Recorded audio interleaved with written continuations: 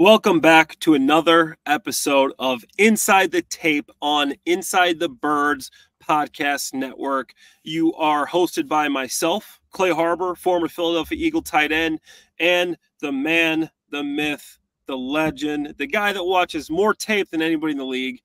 And you know, without further ado, who I'm talking about, it's Greg Cosell.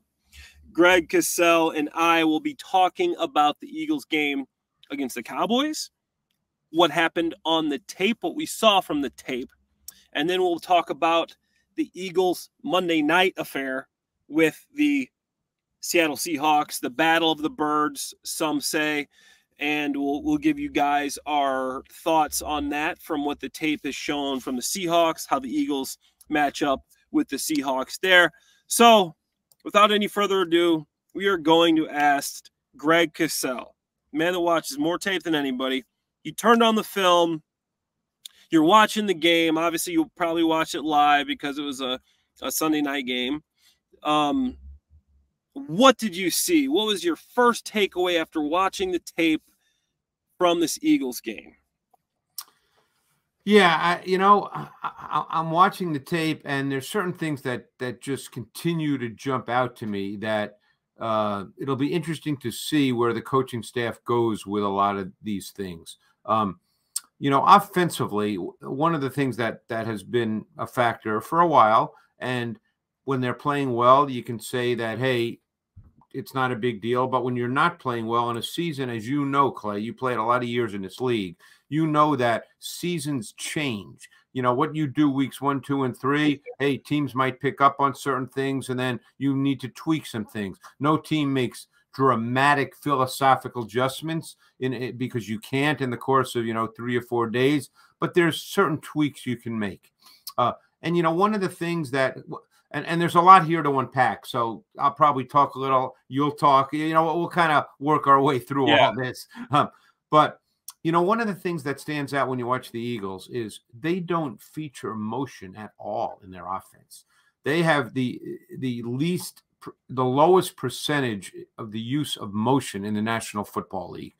And motion has become a really significant part of the league for the, the large majority of teams.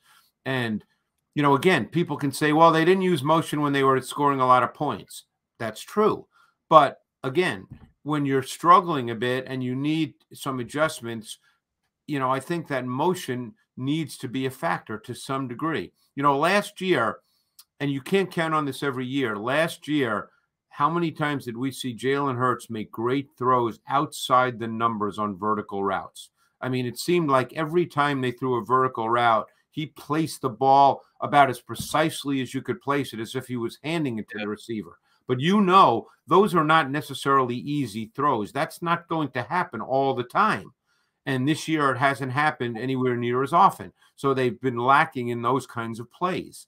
Um, so, you know, the motion is one thing that's really stood out to me, the lack thereof. And by the way, I think someone like Devonta Smith would thrive as a motion receiver. To me, he's your classic Z receiver. And so people understand, you know this, but just so people understand, the Z is off the ball so he can move. He can go in all kinds of different motions. Um, defensively, I would bet we're both surprised by this. Yeah. Who would have thought after last season that the Eagles would not be able to rush the quarterback. Mm-hmm. They've not been able to rush the quarterback. Um, and that's been a, a big problem. And one uh, byproduct of that has been the fact that they have the worst third down defense in the National Football League because their secondary is not good enough to play when you, they don't have a pass rush. So now, how do you deal with that? There's there's different ways, of course, but these are just things that I, have seen sort of building throughout the year, even when they were winning games. And I think the last two weeks they've certainly come to a head. Yeah, absolutely, Greg. And I'll start with talking about motion. And you're you're right on.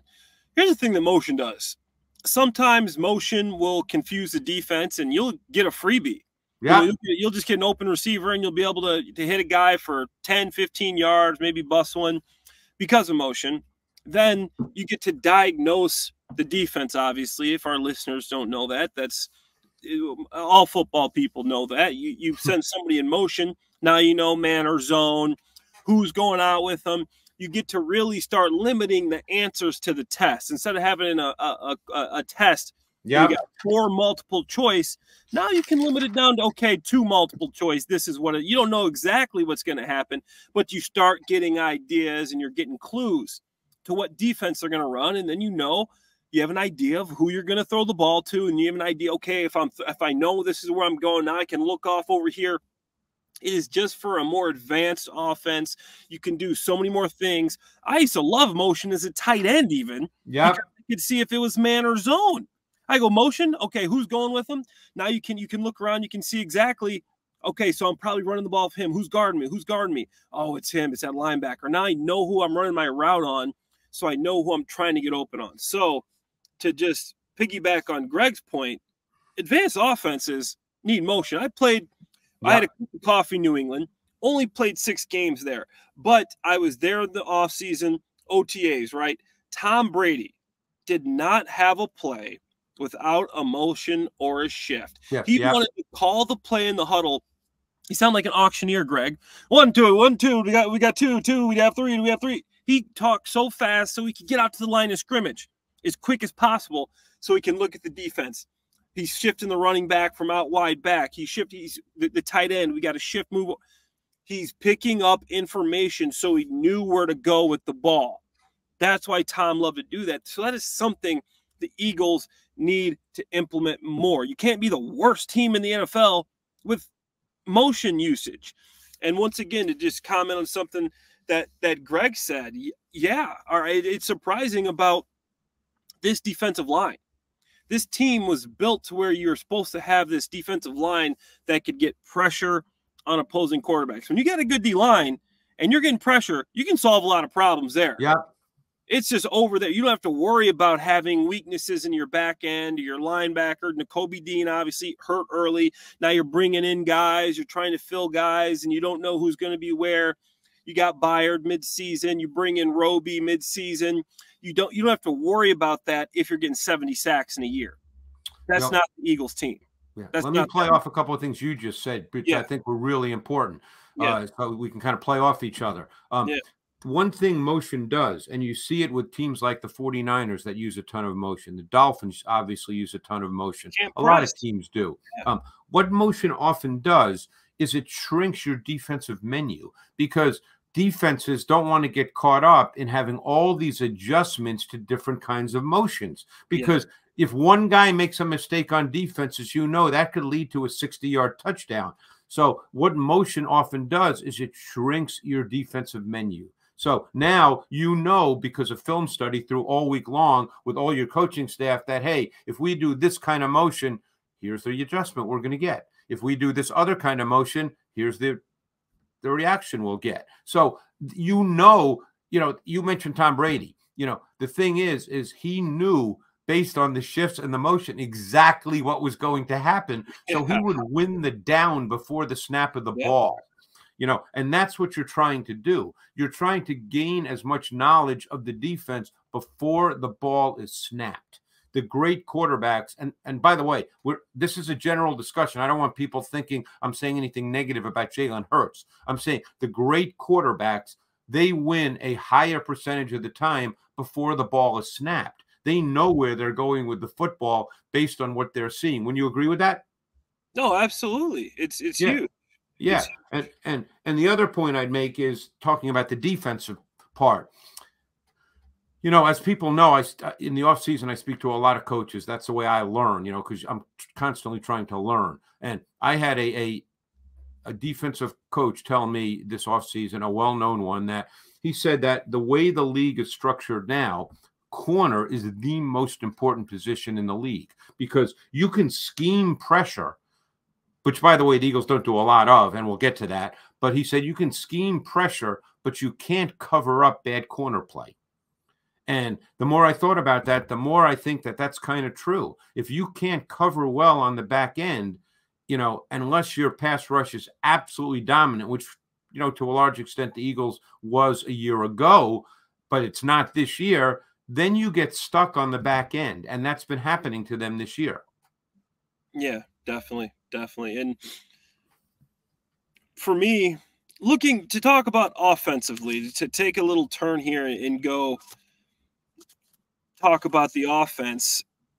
I think that the offense wasn't awful. Looking back, I don't think Jalen played great, but I don't think he played as bad as first look. I'm like, okay, there's some issues here, and like looking at it, I'm like, okay, you can't fumble three times in, in plus territory and expect to win a football game. I mean, that just goes back to fundamentals, holding on to the football. I mean, I don't know what to say about fumbling three times like that, and in three of your best three offensive players, arguably, obviously uh, skilled players, I would say. And uh, you, you got to cut out the turnovers. And besides that, I thought that they ran the ball pretty well. I thought they moved the ball, running the running the ball a little bit. They had 23 carries, over 100 yards. You saw Jalen move the ball a little bit more with some of these. Obviously, fumbled on one of them with some of these quarterback keepers as well. I thought they did okay there but uh, you, you, know when it comes to turning the ball over and i didn't think they were efficient in the pass game as, as they have been i thought there were some decisions that jalen made that he could have made quicker decisions getting the ball out to specific spots. But you know overall i think it's fixable stuff. But greg what was your opinion on how jalen hurts played and did he improve at all? Because i know me and you were concerned yeah. after san francisco yeah, I don't think Jalen, when I watched the tape, played badly at all in in this game. Um, but I would say that what what the Eagles are struggling with right now, and you know, last year we, we mentioned the fact that they hit a lot of vertical routes outside the numbers, basically go routes or slot fades. They hit a number of slot fades to Devonta Smith a year ago. Um, but the Eagles are struggling to generate explosive plays in the pass game within their schematic structure. Even when you look back in recent weeks, you know, against Buffalo, obviously, Jalen, who's as good as there is getting outside the pocket and making those off schedule plays. The big touchdown to um, uh, Zaccheaus against Buffalo, that was an off schedule play. Um, you, they're not generating explosive plays within the structure of their offense. Now, there's another discussion which you know, again, it's just a discussion. I mean, Jalen Hurts is in the gun all the time. I don't know how you feel about that. 482 of his 500 dropbacks this season have come in the gun. Now, I personally believe other coaches could disagree with me. Maybe you, will disagree with me. You know, it's there's no right or wrong here. That's the great thing about football. There's a lot of different ways to do things.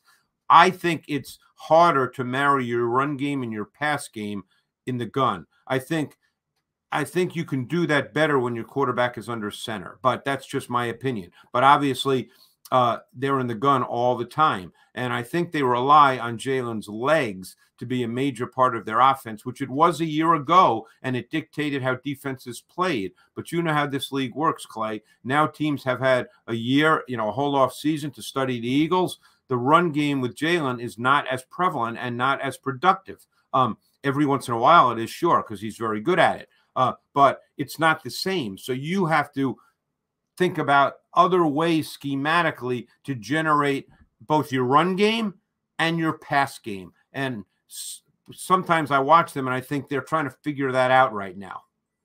No, absolutely. I think uh, I think you hit the nail on the head there. I think you got to get under center every once in a while and have different options there and they got the offensive linemen that are, that are versatile. They're athletic, yep. but they're also big and they can move guys. And I, I, think you can do a lot of different things. You can run duo, you can run power, you can run ISO, but you can also run the zone stuff. You can run the pin and pull, toss crack stuff, and get some of these guys on the edge. So I think you got to utilize the versatility of this line and really yep. attack the weaknesses of a defense. And I think this is a perfect segue to jump into a little bit of tape here. I think we got some uh, some shots of the Eagles running game in. Yeah, and they started in the third quarter coming out running the ball, and then unfortunately Brown fumbled. But they came out, I think, with three consecutive runs. I believe yeah. they were all zone, but they came out running the football and they had some success. I think I think Swift had three runs for 19 yards, if I'm not mistaken. Yeah. Um, and you know that that was a good start you know, there's nothing wrong with lining up and running the ball with yeah. basic run game concepts, zone, gap scheme, maybe yeah. some pin pull. Um, but you can't really do pin pull from the gun, you know, particularly well. Yeah. But that, you know, again, um, but you know, the run game needs to be a factor. The other thing too, Clay, is the games they played this year. You know, last year they got ahead in a lot of games. They had big second quarters and they were ahead, and then the run game is is a lot more viable in the minds of, of the, the play caller. When you're behind, and they've been behind a lot this year, um, you know, the run game play callers start to get impatient with the run game. You know that because the run game is is not necessarily an explosive play element. It's more of a sustaining element. And when you're behind, you know, you, the, the, sustaining element of your offense often doesn't seem like the best way to go. You want to try to create some explosion plays, which percentage wise clearly happen more in the pass game. Yeah, absolutely. And uh, here's one of those quarterback keepers we see yep. from Jalen. And I wanted to highlight this. Uh, you know, sometimes the run There's game. a little motion. Yeah, that was yeah, that was a little yeah. motion. But here's what I wanted to highlight. You know, sometimes the run game can be blocked up perfect by the offensive line, but you need Devonta to, to pick up this uh, slot defender. And if yep. he does, yep. you know, you might have some action there for taking a five yard gain into a you know 12 yard gain, whatever it may be. Right. Yeah. Yeah. So the offensive line is doing you pick up that guy, he might have some space. And then we go into uh, you know, Jalen. We talked about the quarterback, the quarterback uh, run game. And obviously, here's what you get with this. You know, you, you're getting you're picking up or losing a defender because they have to guard this five wide that they have right now with the running back in motion. So now it's five blockers on five blockers, and Jalen Hurts is your running back. You have a man for everybody. Yeah. So it's really something you have to use. And I know Jalen, you know, you got you want the longevity, but you still do have to use that because that is one of the reasons he is such an efficient and effective quarterback and, and, because he can do all that. And who knows? Maybe that's one thing they're going to go back to, uh, Clay. You know, Jalen being a bigger factor in the run game and trying to dictate just what you said lighter boxes. You know, if you add motion into that, as, as we saw there when they did motion, somebody has to react to it. So, you know, what you're trying to do is create lighter boxes, try to impact gap integrity in the run game by the defense, create some issues, and and then you can have bigger runs. I mean, that's you know, there's a lot of factors here. And again, I'm not, this is, I'm, you know me well enough now to know that I don't rip coaches. This is not about, oh, play calling. You know, I, I never do that because I'm not there during the week. And I, and unless I'm involved in the process, I, I don't, I would never do that because I'm a process guy. That's what I love about yeah. watching tape. I love the process. So I don't, I don't rip coaches. That's easy to say, well, I don't like that play call. That's easy. You don't even know what goes into these play calls. So every time I see anybody who talks about, well, I don't like the play calls, I just tune that right out because that, that person's telling me they don't know anything. Um, so I will never do that. But you know, just talking general football, you know, concepts of football, those are things I do know from doing this for a long time and spending a lot of time talking to coaches. Yeah, no, absolutely. And here's um just talking about the run game. You know, people want the Eagles run the ball more. Here's just a, you know, a little five yard pickup, and you can see, you know, this is just a, a zone scheme and a, and a cutback by yep.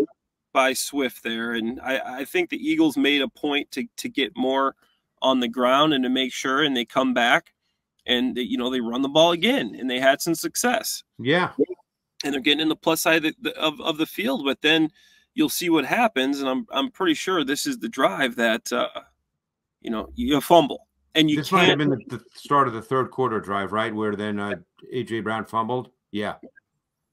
You know, and, and, they had a really good opening drive, and then Jalen fumbled on on the uh, on the design quarterback run, yeah. and yeah, yep. there's the fumble by AJ Brown to start.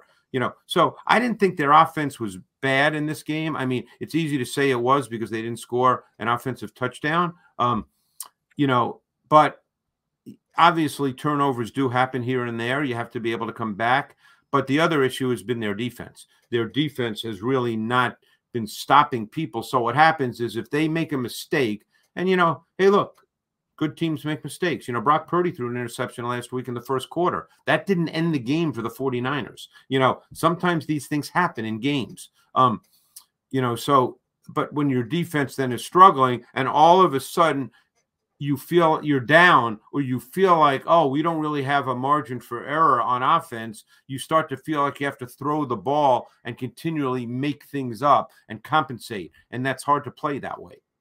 No you're absolutely right and as a player you know you feel that. When you got a defense that you trust there's not as much pressure on you to make these plays and i've been on some teams that had some good defenses and teams that haven't and it is a feeling. When you have when you know you can you can really trust your defense. It just gives you a level of freedom yeah.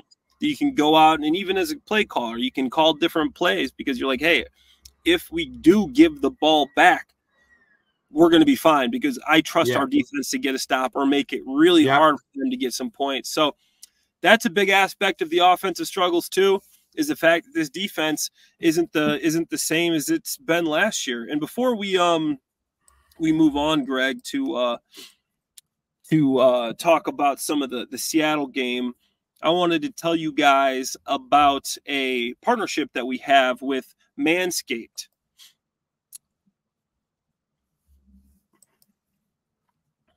The season for a fresh cut is finally here with the sponsor of today's show, Manscaped. The leaders in below the waist grooming have launched their fifth generation lawn mower to help you avoid another silent night in the bedroom. Take care of your special snowflake and watch your South Pole shine like never before. Get the best stocking stuffer of all time by going to manscaped.com and using promo code TAPE20 for 20% off and free shipping. Miss Claus will thank you. Everybody knows the Lawnmower 5.0 Ultra is the crown jewel of the holidays. It is skin safe technology is a lifesaver and known for reducing nicks and cuts on Santa's sack. Don't forget the Manscaped Beard Hedger Pro Kit and Handyman Electric Face Shaver to cover all your facial hair needs. Get rid of those nasty icicles from your nose and your ears with the Weed Whacker 2.0 nose and ear hair trimmer. Take care of your chestnuts with Manscaped Boxers 2.0. There's even the Shears 3.0 nail grooming kit.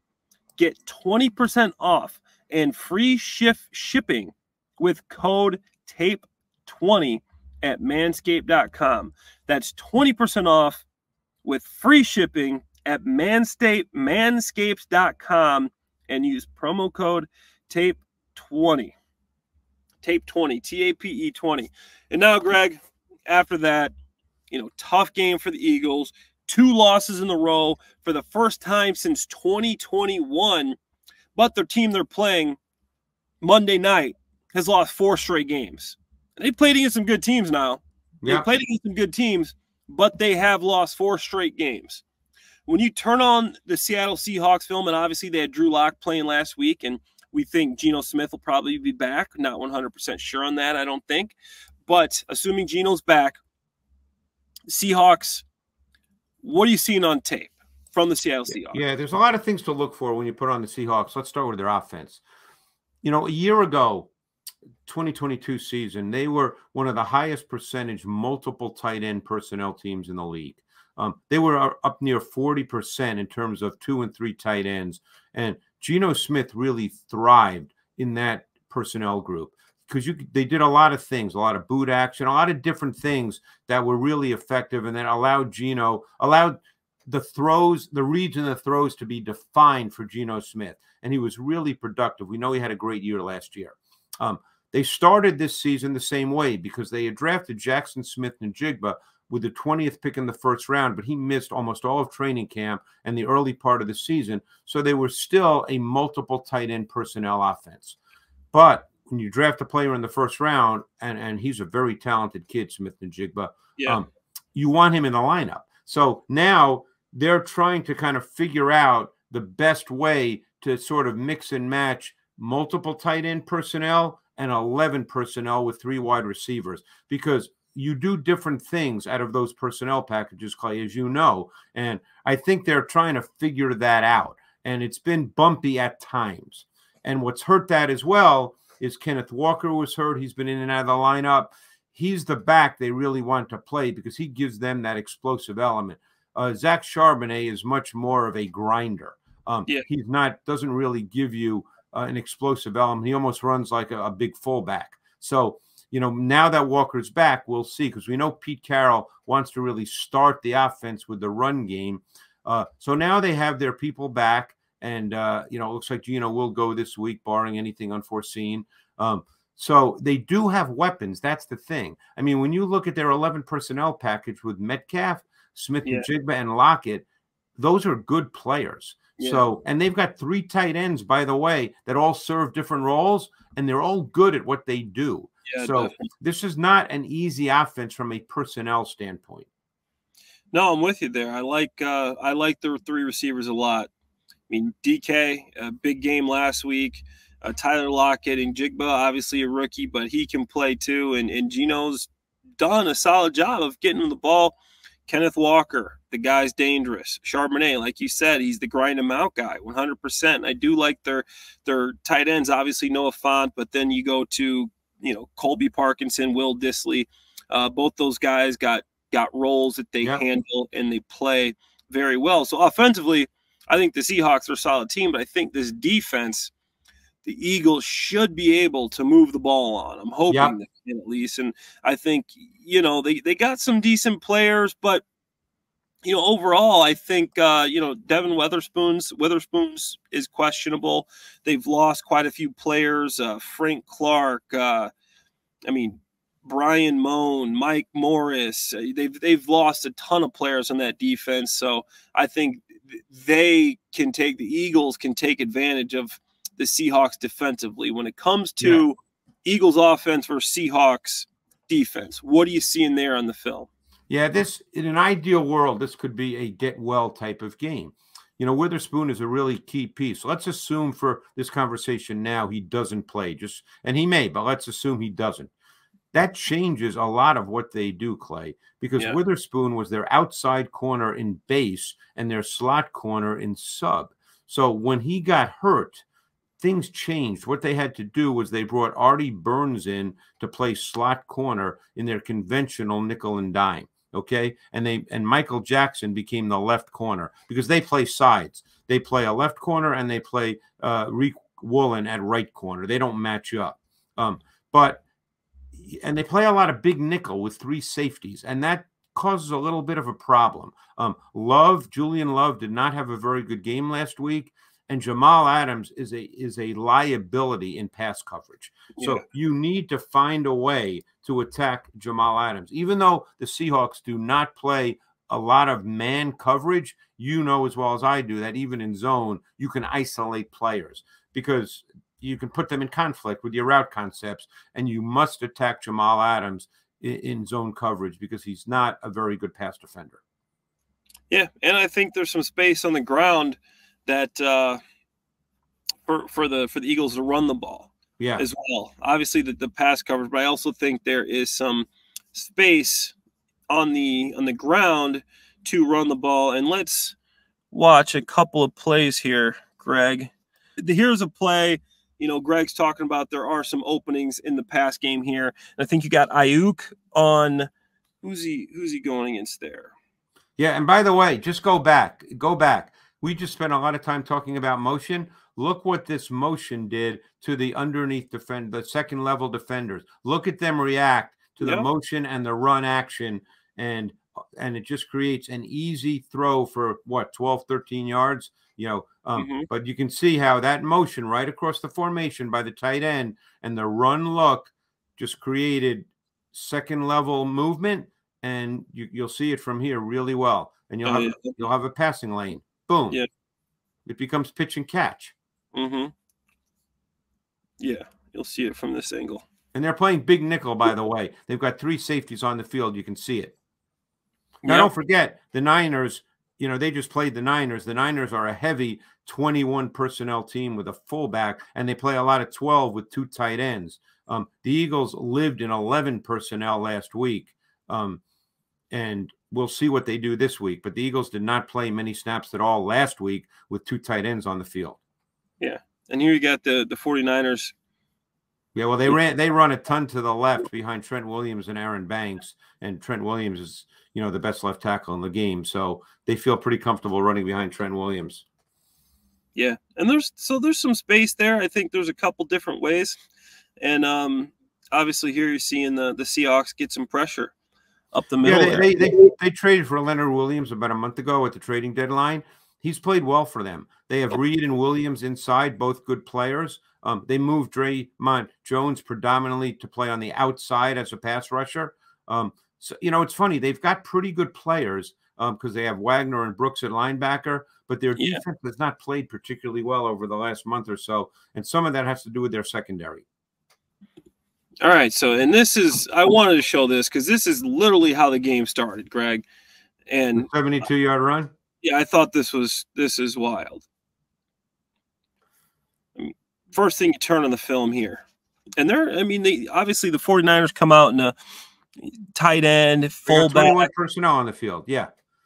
So the, 21 the, personnel, they're strong yeah, the field. Down, yeah, they're they're, yeah. they're they're stop and run here. At least they think they're they're in an eight man box. They're in their five two yep. front, and Adams is up on the line of scrimmage. So they're in an eight man box.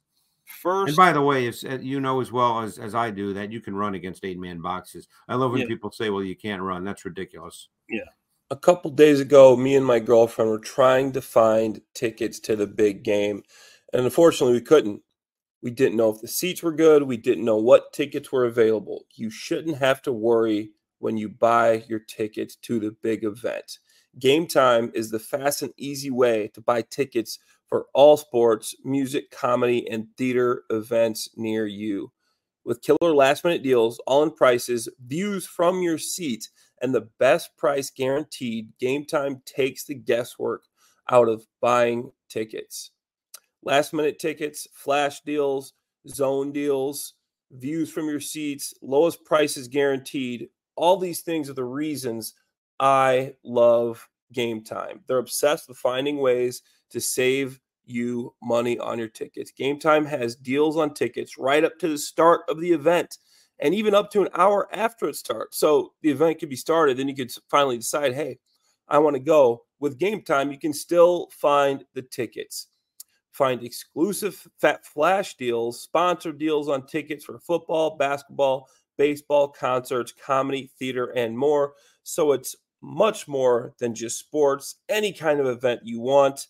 Take the guesswork out of buying tickets with Game Time. Download the Game Time app, create an account, use code BIRDS, B I R D S, for $20 off your first purchase. Terms apply. Again, create an account and redeem code BIRDS, B I R D S, for $20 off. Download game time today. Last minute tickets, lowest price guaranteed. Yeah, so there's some, as you guys can see, there are some holes on the Seahawks defense. As Greg said, this is one of those games. If the Eagles, as a player, you come in, you just focus on your on your assignment. This is you start watching that film, you go, okay, we match up well against this defense. I think we can take advantage of some of their weaknesses and it's a game you're looking forward to. You want to get you got a bad taste in your mouth from last week. Now you got an opponent who's a solid. Seahawks are a good football team. They've lost some close games to some good yeah. teams. You know, it's not going to be a walk in the park, but this is a team you come in as a player. You can't wait to get on the field. You're watching the tape. They're seeing the same tape we're seeing. They're watching that same film. They're saying, okay, there's some openings here. Jalen Hurts is watching this. DeVonta Smith is watching. AJ Brown I think we see a big resurgence, a big game from the offense, that bad taste in their mouth come back and show that they can really carry this team.